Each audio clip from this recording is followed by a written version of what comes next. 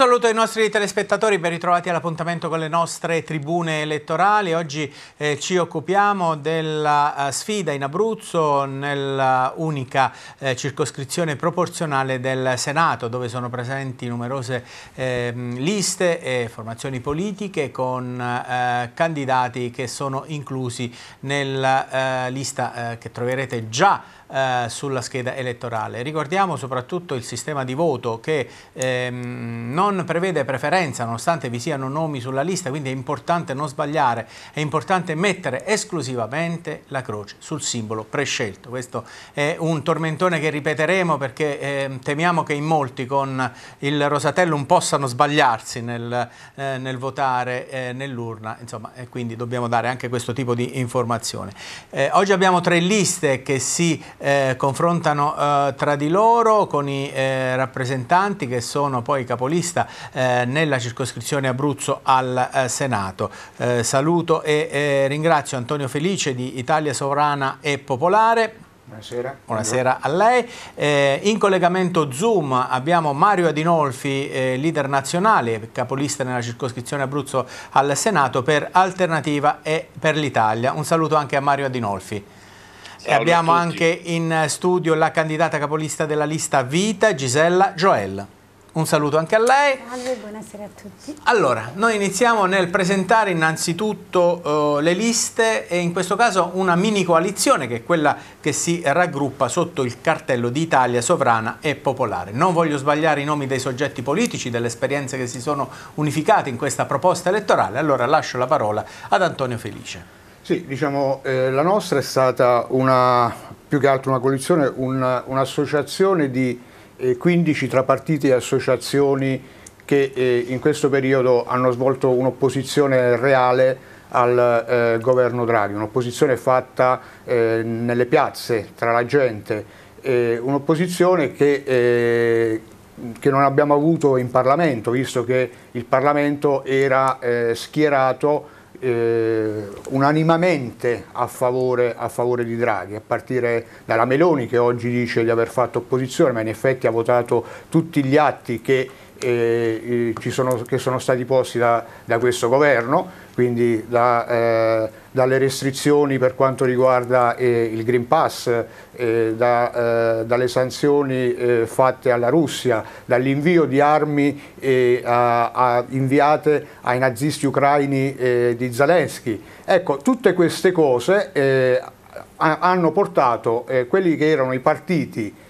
del, dell'arco parlamentare a, a, approvare tutto quello che Draghi proponeva. E anche oggi dicono che tutti, tutti questi partiti vogliono seguire eh, l'agenda Draghi, quindi vince la Meloni, vince Letta, eh,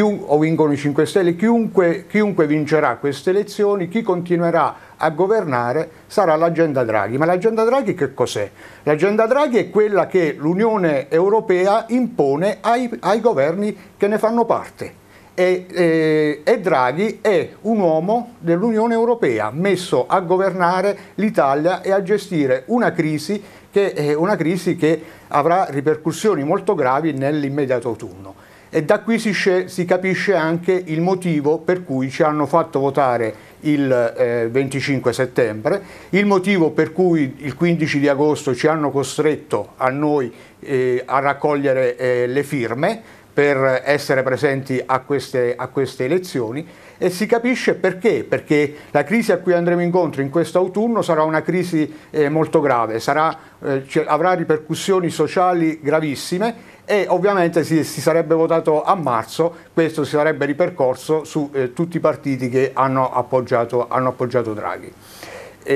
la nostra è, eh, abbiamo determinate Va bene, eh, nel prossimo giro andremo sull'elenco dei soggetti aderenti, insomma comunque ci ha esposto un po' il manifesto eh, politico di Italia Sovrana e Popolare. Mario Andinolfi ha dato vita a questo nuovo soggetto che si chiama Alternativa per l'Italia, di cui ricordo appunto lui è il leader nazionale, è un po' l'evoluzione del popolo della famiglia, ma eh, lui ci può spiegare molto meglio. Adinolfi. Sì, Alternativa per l'Italia anche nasce dall'incrocio di diverse esperienze quella del popolo della famiglia che fu protagonista alle elezioni del 2018, quella di Simone Di Stefano, anche lui protagonista delle elezioni del 2018, oggi presidente dell'associazione Exit, eh, poi ci sono altri amici di Più Italia, di Italia Sovrana, del Partito dei Poveri e di altre realtà che si sono aggregate all'interno di questa opzione di ispirazione cristiana e nazionale che si chiama Alternativa per l'Italia e si affaccia per la prima volta con questo simbolo che riporta anche i nomi miei e di Simone Di Stefano sullo simbolo stesso come indicazione delle leadership che mh, propongono al Paese un cambiamento radicale. Un cambiamento radicale essendo noi l'unica lista che non ha parlamentari mh, uscenti da rieleggere. Questo è un elemento che ci caratterizza tra tutte le liste che sono presenti. Lo ricordo che in Abruzzo avrete al Senato eh, dieci diverse opzioni coalizionali, chiamiamole così, eh, da cui scegliere. Eh, l'unica che non ha un parlamentare eletto da ricandidare o da rieleggere in tutta Italia è Alternativa per l'Italia. Per questo proprio la natura della nostra compagine è una natura eh, di alternativa concreta a quella che giudichiamo essere stata la più oscena delle legislature repubblicane, non solo per gli esiti tragici mh, a cui stiamo vivendo, che stiamo vivendo sul piano dell'impatto economico sulle famiglie, sulle piccole e piccolissime imprese e sui singoli cittadini. Penso al caro bollette come punta di un iceberg, di un disagio che è in realtà complessivo e sta colpendo in maniera violentissima i ceti medio-bassi, ma al di là della tragedia della condizione economica c'è anche la tragedia della condizione politica. Questo è stato un Parlamento di voltagabbana, di cambiacasacche, di persone che si sono inventati gruppi parlamentari all'ultimo secondo per provare a lucrare qualche spazio mediatico in più. Eh, è davvero stato uno spettacolo osceno quello che ha fornito la classe politica della diciottesima legislatura repubblicana, essendo io stato parlamentare un po' di legislature fa nel... Eh, Ecco, abbiamo un problema sulla, sulla, sullo Zoom, eh, speriamo di poterlo recuperare presto Mario Dinolfi, che aveva comunque esaurito il concetto e anche un po' il tempo, però insomma l'avremmo fatto continuare volentieri, lo sentiremo eh, tra pochissimo recuperato il collegamento. Gisella Joel, lista vita, che appunto, diceva Dinolfi, ha una parlamentare eh, già eletta nel precedente ehm, Parlamento, appunto, che è la Cunial, ma eh, ovviamente lei è uscita un po' anche da tutti i giochi negli ultimi certo. tempi di certo. questa eh, legislatura. Ecco, ci spiega perché, ci spiega perché è presente questa forza politica eh, nella eh, competizione elettorale. Certo, certo. Allora, eh, innanzitutto io lo faccio vedere il simbolo vita perché il simbolo vita è, è, ha un suo significato eh, ben preciso, sia come immagine che non so se si riesce a vedere dal telefonino, sia come immagine che anche come come eh, significato perché eh, questo simbolo del tutto nuovo è stato eh, sotto l'insegna di questo simbolo del tutto nuovo creato al momento appositamente per togliere ogni personalismo di quelle persone, di, quelle, di, quelle, di quei partecipanti che poi sono sotto quest'insegna eh, che hanno animato le piazze in questi due anni per opporsi al sistema. La Sara Cunial è l'unica parlamentare che si è opposta davvero in Parlamento a, a tutta la tirannia eh, a cui siamo stati sottoposti anche noi cittadini con eh, l'obbligo del vaccino. E lei non si è vaccinata ed è stata l'unica a non entrare in Parlamento. Eh, sappiamo che altri anche se si sono opposti, chi con il, con, eh, con il, Green Pass comunque è entrato perché ha avuto il Covid, invece lei è stata coerente con se stessa, non è entrata in Parlamento, non ha preso nessun Covid e quindi ecco perché la, la Cunial diventa segretario di questo partito. Diventa segretario di questo partito perché, perché poi ci sono anche altri personaggi come l'avvocato polacco che abbiamo visto che si è battuto in tutte le piazze d'Italia per la libertà di scelta, perché noi siamo per la libertà di scelta, siamo per i diritti dell'uomo e quindi combattiamo per quelli. C'è una legge naturale da rispettare, ci siamo visti violati, ci siamo visti violentati letteralmente da, eh, un po' da tutti, dai media, da, da, dai giornali, dalle televisioni principali, con uno stesso unico pensiero, senza lasciare spazio neanche ai medici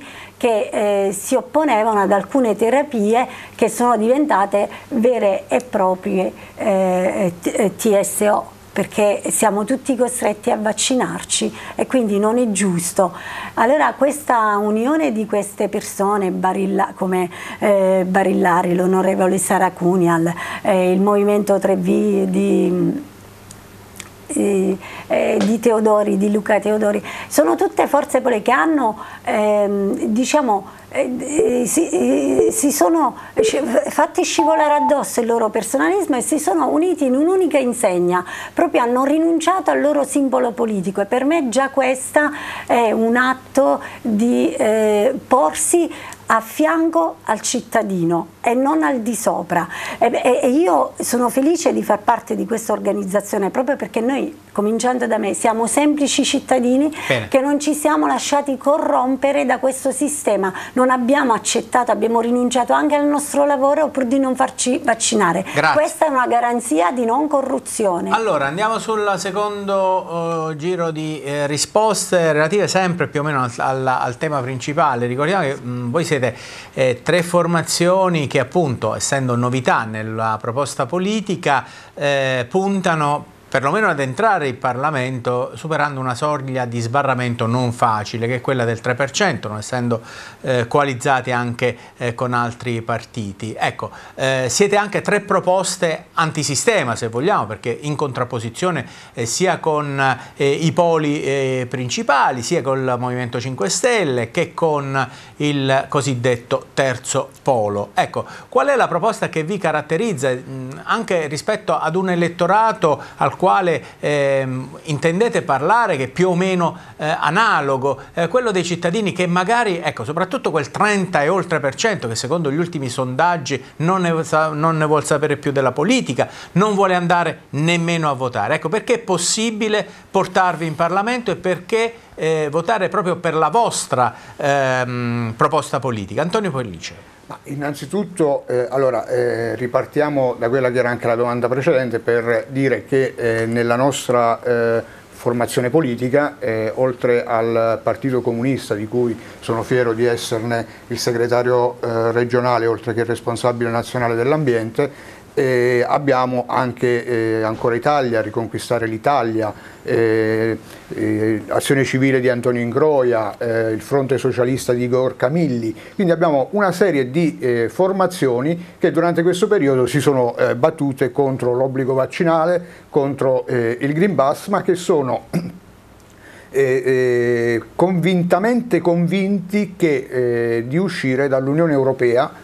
e soprattutto dalla Nato. Il, la, nostra, eh, la, la nostra sigla politica si chiama Italia Sovrana e Popolare perché vogliamo ribadire quella che è la sovranità dell'Italia sul nostro territorio. Badate bene che noi abbiamo porzioni di territorio che eh, stanno, eh, sono eh, in mano al, agli Stati Uniti, alla Nato, che, eh, su cui noi non possiamo eh, governare. E l'esempio eh, avvenuto qualche giorno fa a Pordenone, e con questo non voglio assolutamente eh, utilizzare un argomento così triste eh, a fini eh, elettorali, però eh, di quella soldatessa eh, della Nato che ubriaca alla guida della sua autovettura ha ammazzato un ragazzo di 15 anni e che probabilmente questa soldatessa verrà processata negli Stati Uniti e non in Italia dove ha commesso il reato, questo significa che noi non abbiamo sovranità sul nostro territorio Non abbiamo più la sovranità monetaria perché è Bruxelles che decide eh, cosa fare eh, dell'Italia e di fatti eh, ogni, ogni, giorno abbiamo le indicazioni che eh, dall'Unione Europea arrivano come quella della privatizzazione dell'acqua, come quella eh, eh, della speculazione che ci si sta avvenendo sul gas perché poi di questo dobbiamo parlare, il prezzo del gas non è aumentato alla fonte, cioè la Russia non è che ha aumentato il prezzo del gas ma sono gli speculatori e il capitalismo che sta facendo aumentare questo, il, prezzo, il prezzo del gas gas alle famiglie, alle imprese e, e così via. Quindi noi dobbiamo, vogliamo dire, noi vogliamo riacquistare questa nostra sovranità in Italia, ma soprattutto lo vogliamo fare con il popolo e quindi per questo è popolare. Qualcuno ci accusa di aver eh, sovvertito quella, quella, da comunisti quella che era, quella che era la, la, la, nostra idea, ma eh, badate bene che i padri costituenti, cioè quelli che avevano fatto la resistenza, che hanno combattuto il nazismo con le armi,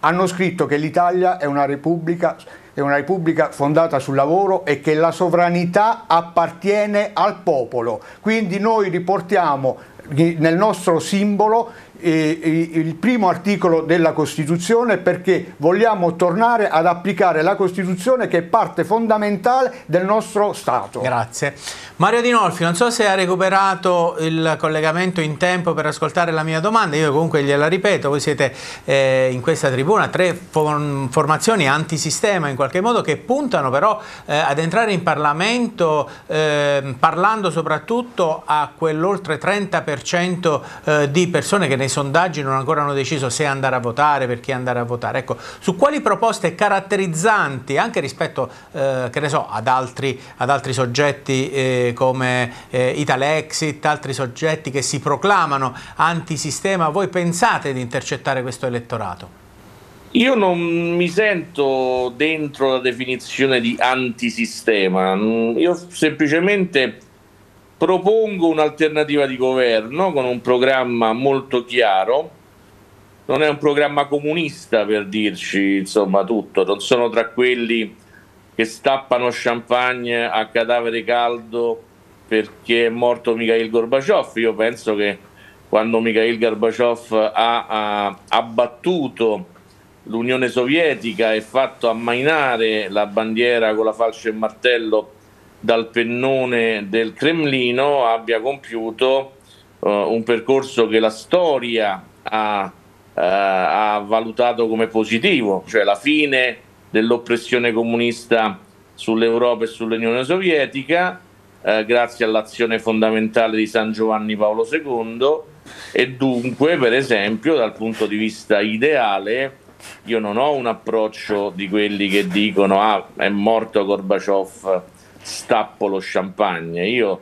eh, rivendico coloro che sanno cambiare le cose cambiando dal territorio dell'oppressione al territorio della libertà. E sicuramente Gorbaciov ha operato in questa direzione, abbattendo il comunismo. Così, all'interno di una dimensione dittatoriale che abbiamo vissuto in questa stagione, in cui noi siamo andati nelle piazze a gridare che il Green Pass era uno schema assimilabile all'apartheid sudafricano, per cui io non potevo salire sullo stesso autobus su cui poteva salire il mio cane, in cui io non potevo andare al lavoro, io stesso, Maria Dinolfi, non vaccinato, over 50, quindi passibile di obbligo vaccinale, sono stato sanzionato, mi è stato reso impossibile a me personalmente di andare a lavorare nel mio, nel, nei, miei, nei miei contesti, se voi vedete io che faccio abitualmente l'opinionista televisivo sulle reti nazionali, da un certo punto in poi non sono più potuto entrare negli studi televisivi. E ogni collegamento veniva fatto da casa mia perché ero ridotto agli arresti domiciliari, sostanzialmente erano arresti domiciliari. Beh, quel tipo di esperienza,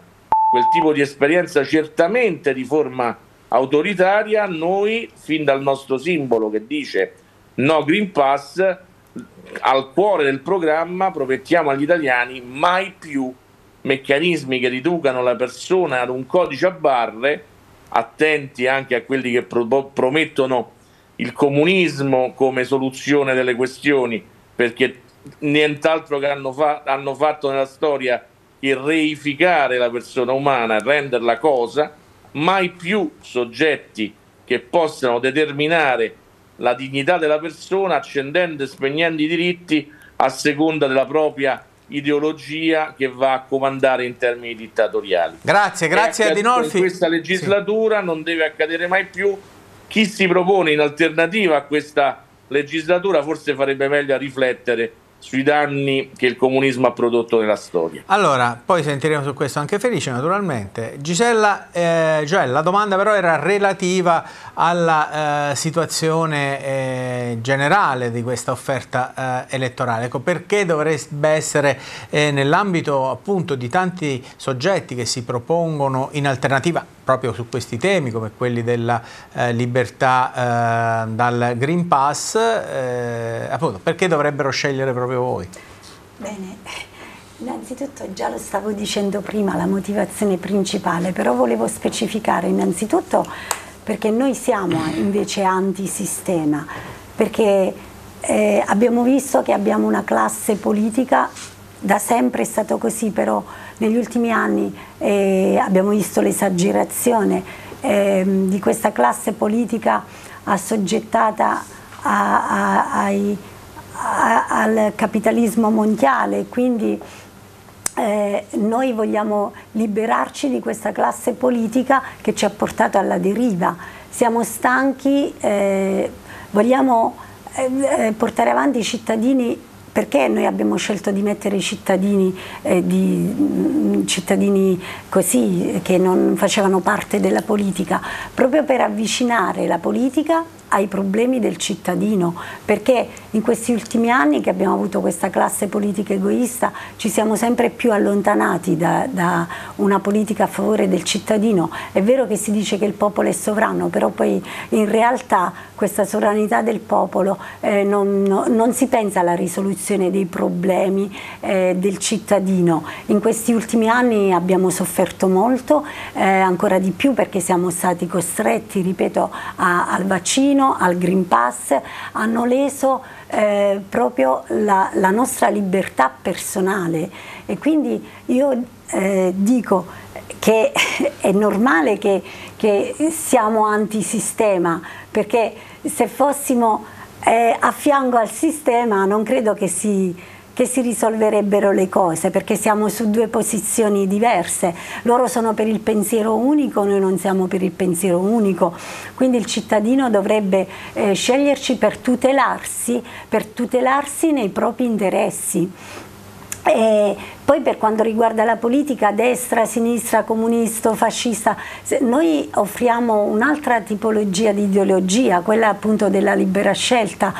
ha, perché oggi non ha più senso parlare di destra, di sinistra, di comunismo, solo, solo, eh, diventano solo appartenenze di persone che restano limitate per quelle appartenenze ma non vanno oltre, non si rinnovano appunto in una nuova politica di libertà a favore veramente del cittadino eh, che possa fare l'interesse del cittadino anche sottolineando eh, l'etica e, e la morale perché per esempio l'economia è andata a rotoli. Però noi cominciamo sempre a, eh, diciamo a voler sanare l'economia ma l'economia non si riesce a sanare se non si parte da un principio morale ed etico, di trasformazione di etica e morale. Bene. Allora, eh, visto che il tema vi interessa particolarmente, altro giro di risposte, stavolta invertiamo, eh, modifichiamo eh, l'ordine per le prossime due domande di risposta relativo appunto alla collocazione internazionale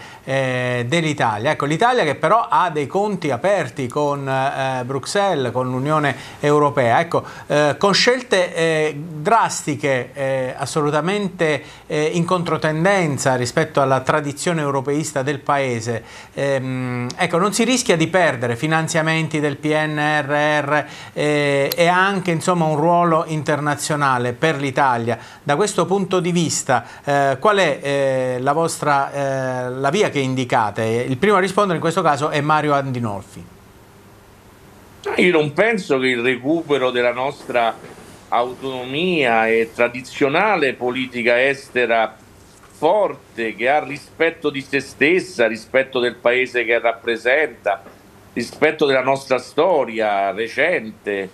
Noi siamo l'Italia, non dimentichiamocelo mai, che quando gli Stati Uniti volevano obbligarci a non andare alle Olimpiadi di Mosca, vi ricordate? E tutta l'Europa obbedì agli Stati Uniti. Noi siamo l'Italia che ha mandato Pietro Mennea a vincere i 200 metri, Sara Simeoni a vincere Colconi, il salto però, in alto. Eh. Colconi, non, non furono scelte, non, inter- non,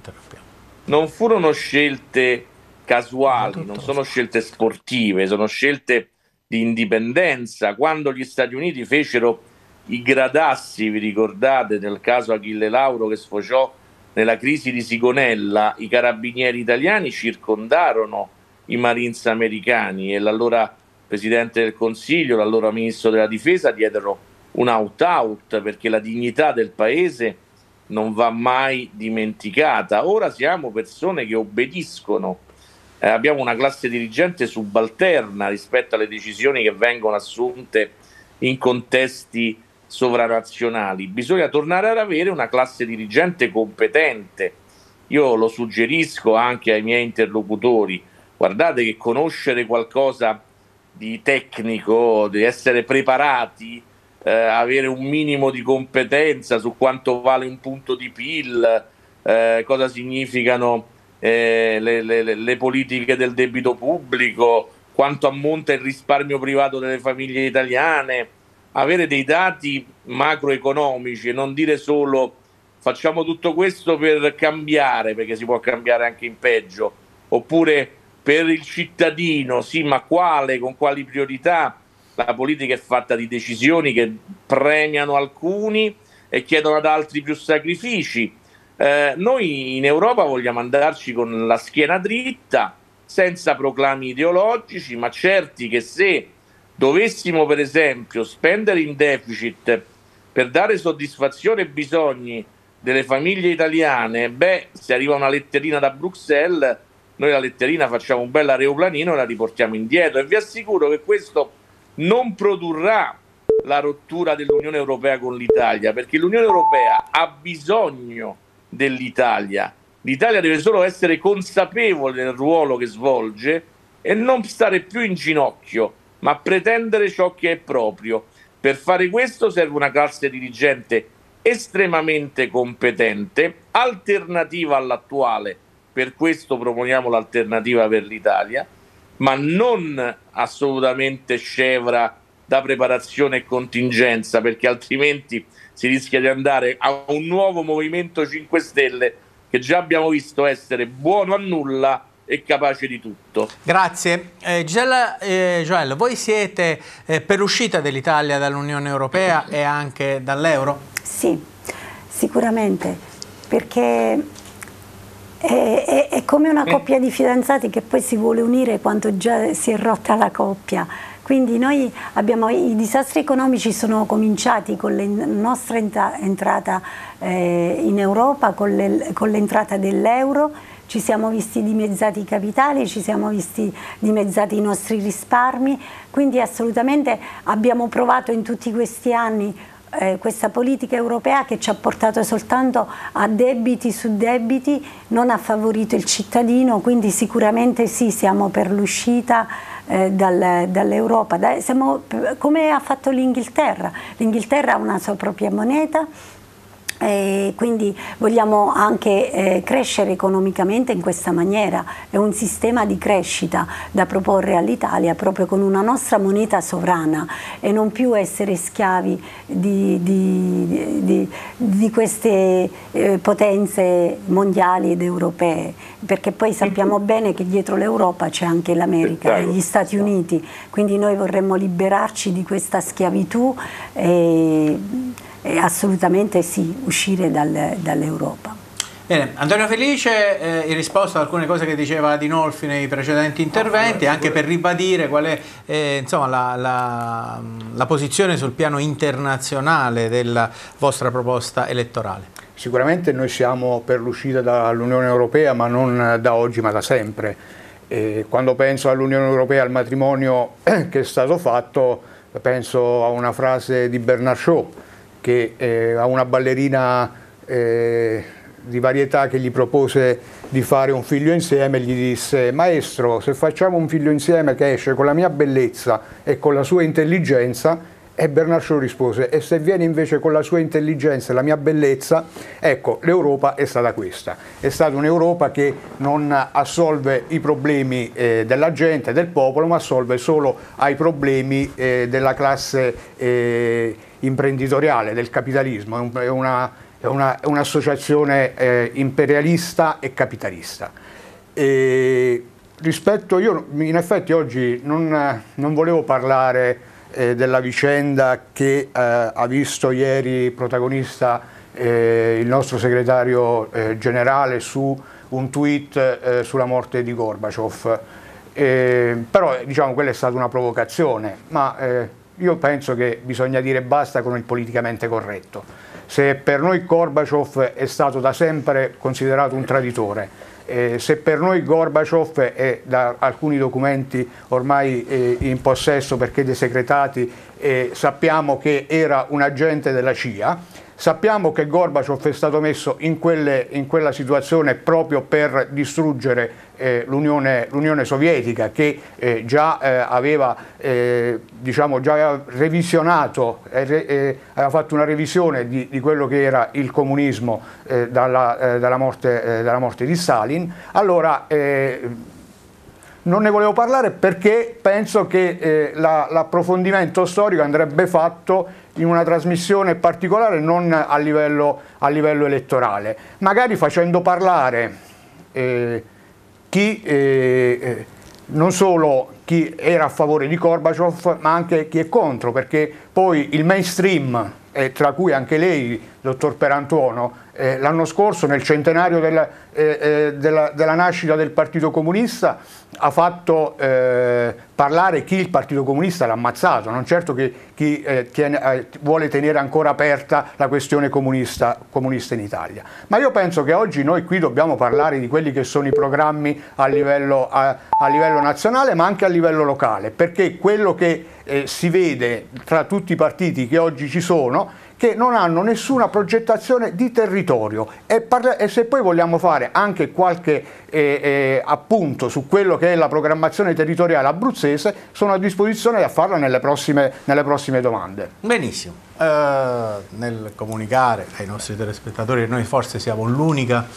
eh, testata che dà spazio al Partito Comunista su questo territorio, poi ce ne vorrà dare atto o meno felice. Noi andiamo avanti con un'altra, ehm, un'altra questione eh, che in qualche modo però in questo caso vi divide perché eh, andiamo sui temi della, eh, siete tutti quanti insomma con una posizione molto chiara sulla situazione vaccinale, però io credo che per esempio sui temi eh, della eh, tutela della vita, dell'aborto e anche eh, insomma, di eh, situazioni che riguardano più da vicino la vita delle donne abbiate eh, posizioni diverse. Ecco, su questo vi chiedo di confrontarvi a partire da Adinolfi che appunto col popolo della famiglia è stato protagonista di, grande, di grandi eh, manifestazioni, anche di battaglie eh, relative per esempio appunto all'abolizione della legge sull'aborto. Ecco, voi pensate di portare ehm, al traguardo ehm, questo, questo risultato nella prossima legislatura essendo presenti in Parlamento? Beh, si è alzato un vento perché conta anche quello che avviene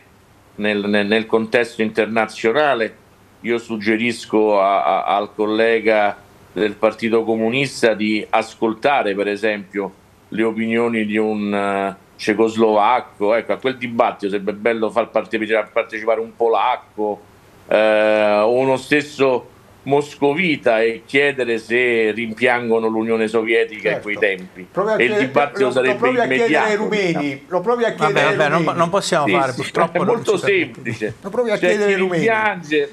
c'è chi rimpiange il comunismo e lo sta esplicitando e, e rimpiange l'Unione Sovietica e considera la caduta di una dittatura feroce che ha causato 100 milioni di morti un, uh, un male e, e chi guarda a, ai fatti storici dicendo che la caduta di una dittatura è un bene.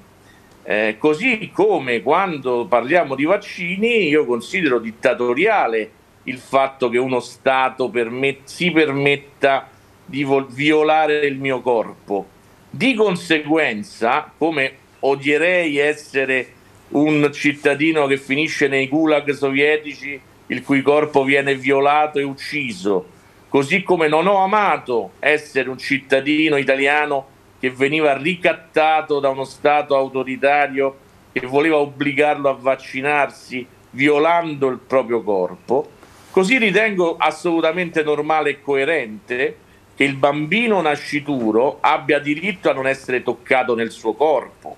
e dunque sia soggetto di diritti e non un oggetto. Non è una valutazione che faccio solo io, è una valutazione che comincia a fare la Corte Suprema degli Stati Uniti grazie all'intervento di Donald Trump sulla sua composizione. È arrivata una sentenza che ha permesso a 27 stati degli Stati Uniti di cominciare a dire che quel soggetto, quel bambino, perché quando io ho aspettato una delle mie tre figlie con mia moglie e non abbiamo detto aspetto un feto, aspetto un embrione, appena abbiamo visto il test di gravidanza abbiamo detto aspetto un bambino. E quel bambino non si tocca come non si tocca il mio corpo, lo Stato non ha diritti sul mio corpo, non ha diritto lo Stato se no è autoritario e sovietico. E grazie a Dio abbiamo abbattuto quelle dittature e non devono mai più tornare. E vale anche per il malato, il depresso, l'affaticato, ogni persona ha una sua dignità profonda, lo Stato non deve in alcun modo, magari col pento barbitale raccontando che una grande benefica novità è l'eutanasia o il suicidio assistito, non deve permettersi di toccare il corpo dei cittadini, Grazie. meno che mai dei cittadini più deboli che non si possono difendere con la loro voce. Mi aspetterei da forze che si proclamano così fieramente antisistema non la difesa dei sistemi che uccidevano le persone, la, mi aspetterei la difesa del diritto al corpo di ciascuno di non essere mai violato. Grazie, grazie. Allora, anche la lista vita è molto impegnata nel suo programma elettorale sui temi etici, sui temi eh, riguardanti in particolare le donne. Sulla, eh, sulla situazione anche eh, cui si rifaceva riferimento da parte di Adinolfi eh, abortiva. La cancella Qual... non no, la legge 194, quelli di vita, fatemi eh. capire, perché questa è ecco, una domanda. Questa è la diciamo, domanda, eh? infatti, mi ha aiutato da buon collega a fare questa domanda, prego. Allora, per, per quanto riguarda l'aborto, come ho detto prima, se c'è un'educazione morale etica, anche eh, l'aborto verrà usato nella maniera eh, giusta. Non certamente, ah, maniera giusta. non certamente a fini vi prego, non vi prego però di non interrompermi perché non, purtroppo nessuno. non è possibile ecco, e, e quindi eh. non vorrei essere Qual è la maniera allora la maniera giusta è non usarlo ai fini contraccettivi per esempio perché oggi non è più come un tempo, abbiamo tante possibilità per evitare una gravidanza a priori. E, eh, poi anche chiaramente se sono finalizzati, perché poi se no eh, favoriamo forme di aborto clandestine e sappiamo che esistono perché sappiamo benissimo come dottori che ci hanno rimesso la vita come eh, Biscardi ci aveva informato bene che nei vaccini attuali ci sono anche feti di aborto, quindi è ovvio che se se ne fa un uso improprio del, del, è, è, un uso clandestino se non c'è una legge che regola, eh, che regolamentizzi l'aborto, eh,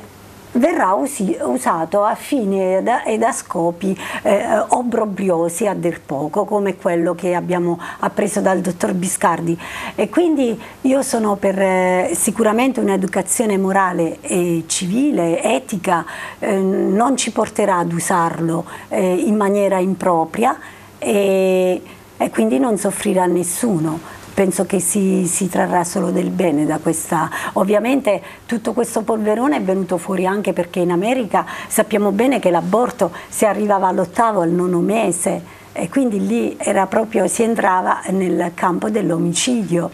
E allora è venuta fuori tutta questa questione. Però non, non, credo che in Italia siamo a questo livello, ma un'educazione morale ed etica sull'uso dell'aborto la ritengo necessaria, una rivoluzione morale ed etica ed il nostro partito si propone proprio questo.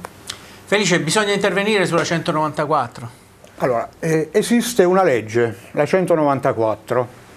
ma questa legge però eh, non viene applicata eh,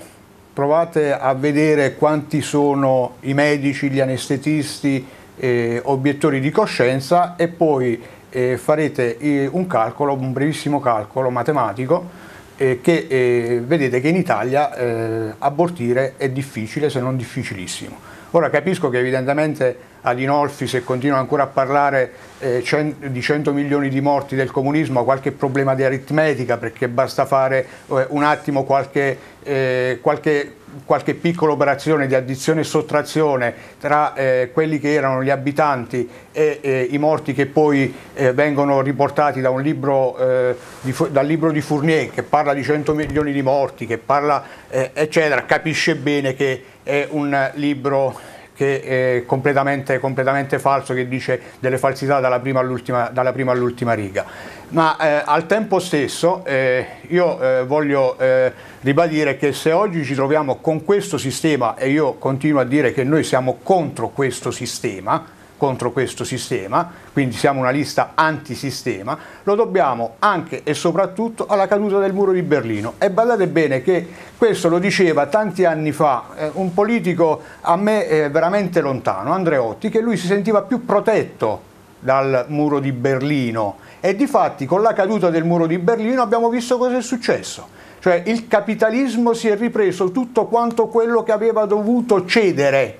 perché se noi oggi abbiamo le ferie, se noi oggi abbiamo eh, eh, eh, l'interdizione per maternità, se noi oggi abbiamo la malattia e così via, lo si deve a quel sistema lì che già nel 1918 aveva fatto queste grandi, queste grandi riforme, a differenza dei paesi occidentali che, non l'avevano ancora fa- che, l'hanno fatte eh, pre- eh, alcune prima e alcune dopo, eh, dopo il, secondo conflitto, il, secondo conflitto, mondiale. Ma ora basta parlare di queste cose perché non, eh, non penso che siano interessanti. Sulla 194. Sulla, 100, sulla 194 eh, io come dicevo, la 194 è molto difficile da, eh, eh, da, da, poterla, da, poterla, applicare perché ci sono medici obiettori e quindi anche questo va, va visto in una funzione, come diceva prima eh, eh l'amica, io utilizzo l'amica, a me non piace eh, il termine collega perché mi sa tanto di, aziendali, di, aziendalista e noi non siamo aziende ma siamo partiti, siamo organizzazioni di persone. Allora come diceva, come diceva l'amica, la, la, nostra amica, noi siamo per la 194 4, ma che ovviamente non deve avere eh, scopi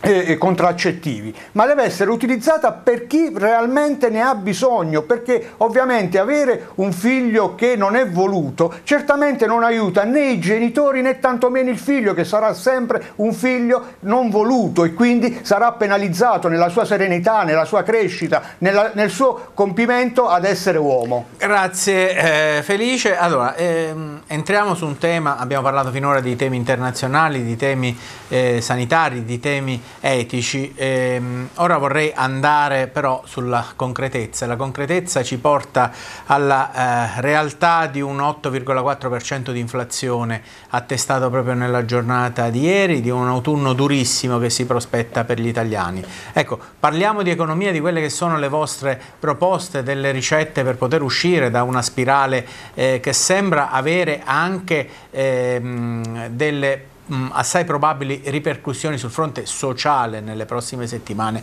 nei prossimi mesi e di questo si parla forse ancora poco in campagna elettorale. Iniziamo con Gisella Joel in questo uh, nuovo giro. Beh, eh, per quanto riguarda l'economia, ovviamente eh, noi siamo per l'abbassamento eh, delle tasse su, sui beni primari che vediamo ci stanno proprio tartassando, a cominciare dal gasolio, eh, eh, anche sui beni alimentari, eh, proprio quelli più, diciamo, più necessari, i beni, primi, eh, i beni di prima necessità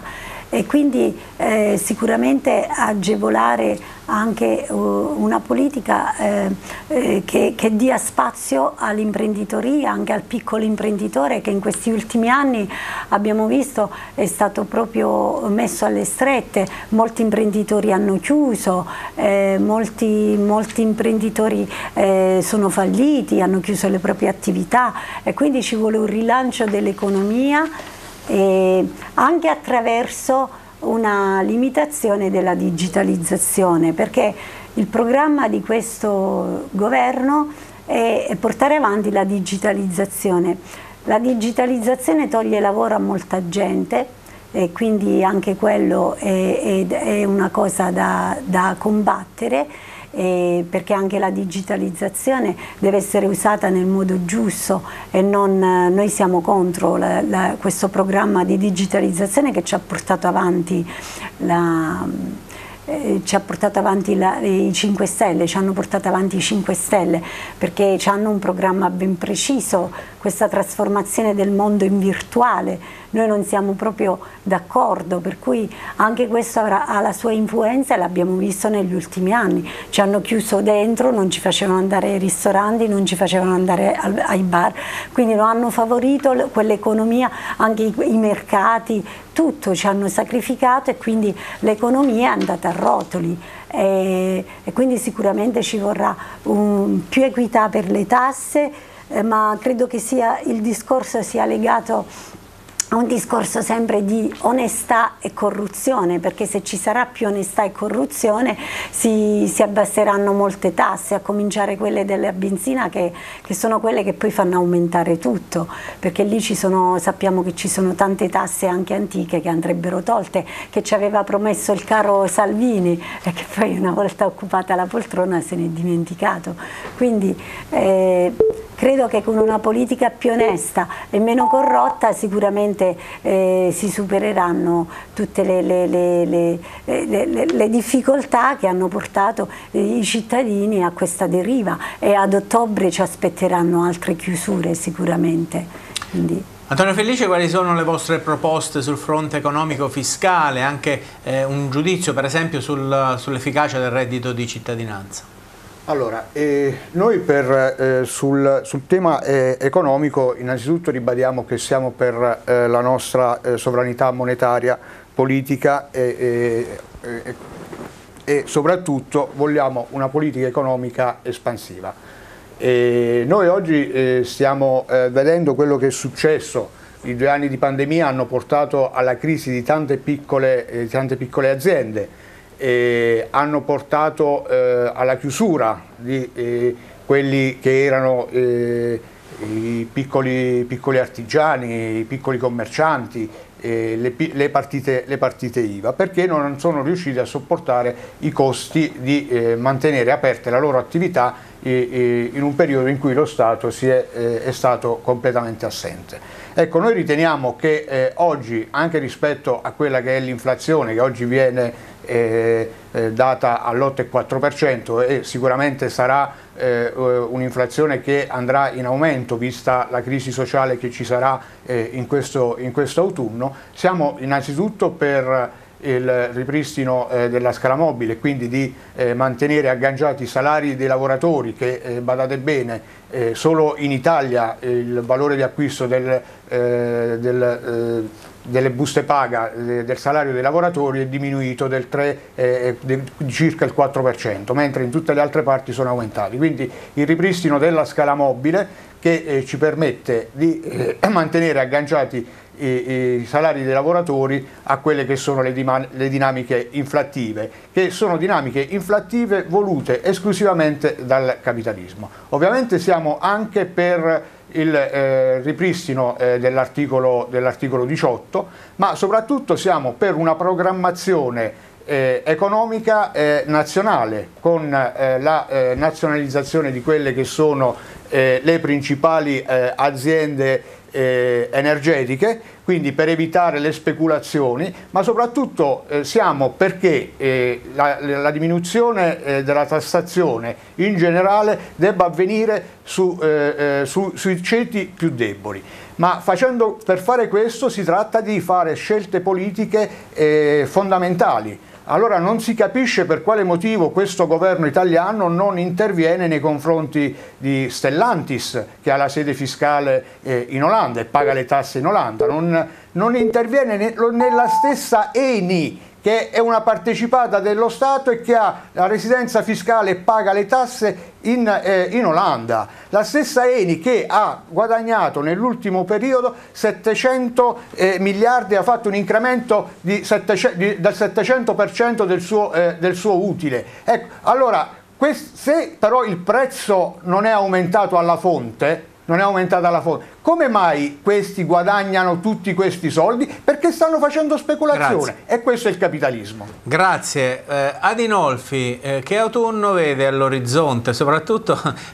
eh, rispetto ad alcune scelte che sono state fatte mh, dagli ultimi governi? Ecco, quali sono assolutamente quelle da eh, revocare a suo avviso e quelle da cambiare?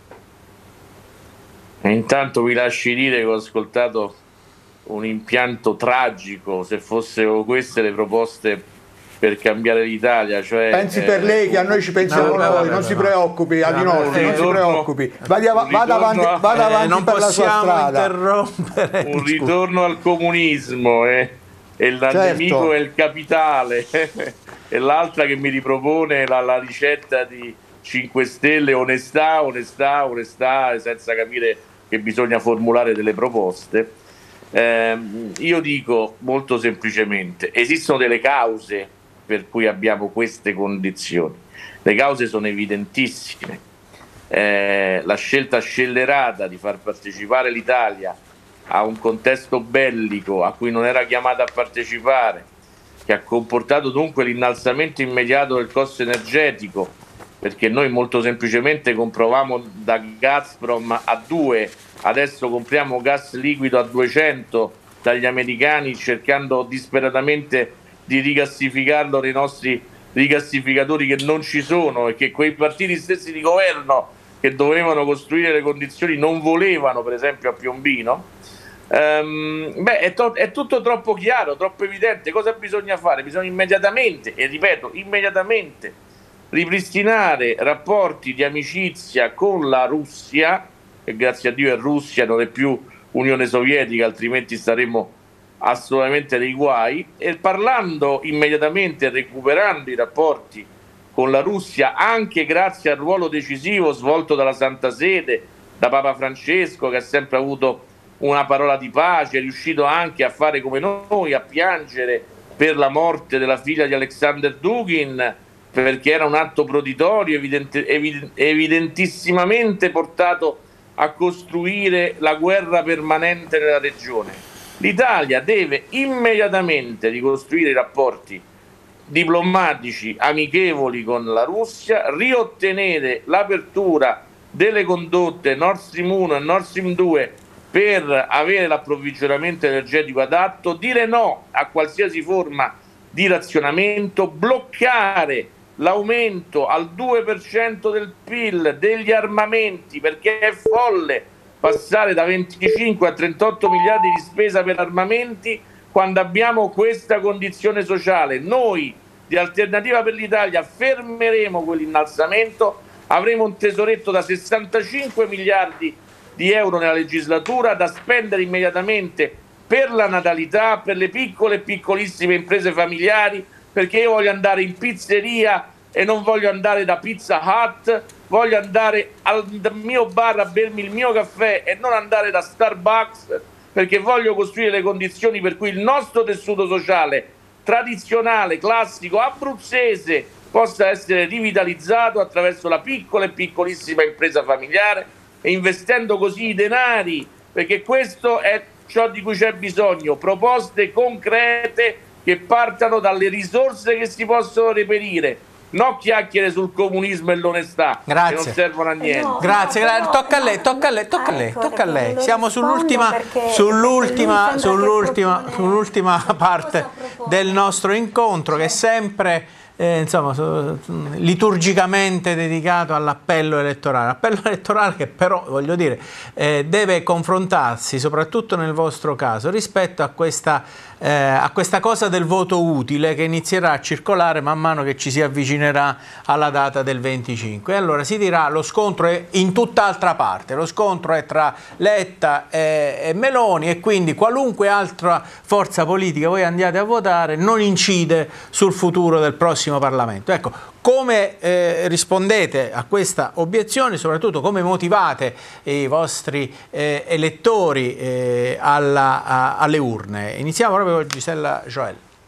Ma veramente già per risposta al signore che sembrava chissà cosa dovesse proporre di nuovo, mi sembra che io ho detto un aspetto morale di onestà e non corruzione E poi ho detto che favoriremo la piccola imprenditoria quindi anche lui a proposito della piccola imprenditoria è chiaro che si intendono i prodotti tradizionali e si intende tutto, tut, tutta la nostra cultura eh, culinaria, il turismo, tutto ciò, il patrimonio artistico che abbiamo, anche valorizzare tutto ciò che è locale. Mi sa che l'abbiamo detto anche se non esplicitamente, ma insomma era, era implicito il fatto de, quando si dice favorire la piccola imprenditoria eh, che non siamo per la guerra e siamo per la pace, è già incluso quando io mi sono definita antisistema, mentre lui si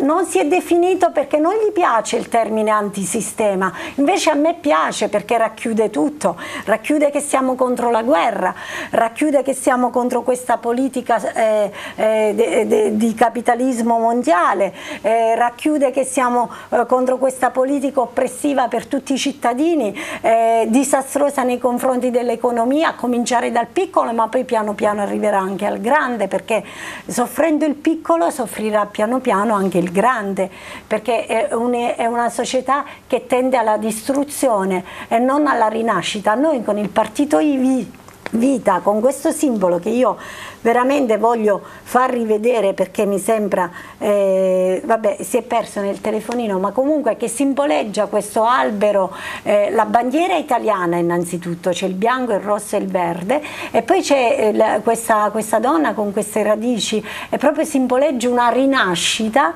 una rinascita di tutto, dell'economia, dell'etica, della morale, perché noi siamo messi veramente male, dobbiamo cambiare tutto in Italia, non si può cambiare solo una cosa bisogna cambiare tutto. Quindi questi signori che sono stati al governo fino ad oggi hanno perseguito sempre la stessa politica con un pensiero unico, eh, venduti a qualcuno, non si sa a chi, a, a, dei mondialisti sicuramente e quindi io mi definisco con il mio partito antisistema e spero con tutto il cuore che il popolo italiano lo mandi a casa e, e, e faccia venire al governo forze nuove. Eh, Felice, preoccupa anche voi quello che prima ha definito un po' il mainstream della comunicazione su queste elezioni che parla soltanto e man mano che ci si avvicina al 25 di settembre di voto utile? Ma certamente, innanzitutto io voglio far vedere il nostro simbolo che è Italia sovrana e popolare,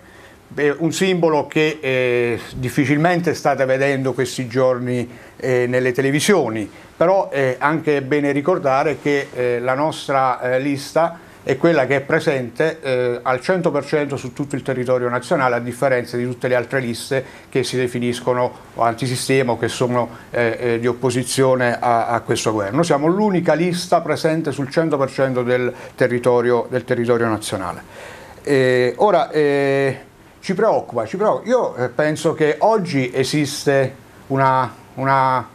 una sola cosa, esiste il PUL, il Partito Unico Liberale, che comprende eh, dalla Meloni, da Fratelli d'Italia, passando per Conte, Renzi, Calenda, eh, Fratoianni, eh, Letta, cioè tutto, tutto, quel, tutto, il Parlamento italiano uscente, li comprende tutti. Questo è il pool, il partito unico liberale, o liberista forse, liberista. E noi, lo, e noi vogliamo essere invece contro questi partiti, perché noi eh, eh, siamo... Eh, io qualche giorno fa ho fatto un post in cui dicevo che faccio politica da quando avevo 13 anni, sono sempre stato comunista e ho sempre eh,